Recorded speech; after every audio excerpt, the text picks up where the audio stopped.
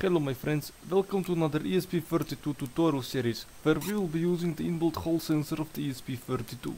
I like to use a small battery or even a magnet to use the Hall sensor because it can read the changes in a magnetical field between positive and negative. Okay, my friends, let's start. So, we're going to make an integer and call it val equals 0. Get rid of that line and then start your serial monitor.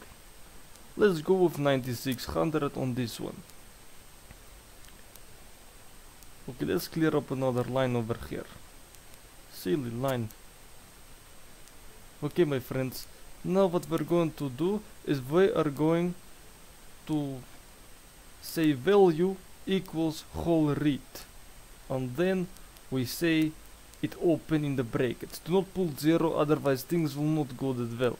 Okay, then next up we say serial.println, that way it will print underneath each other and we print value.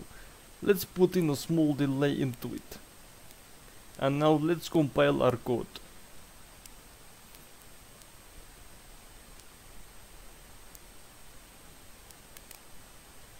Okay my friends, in the serial monitor we can see it reading positive and negative values.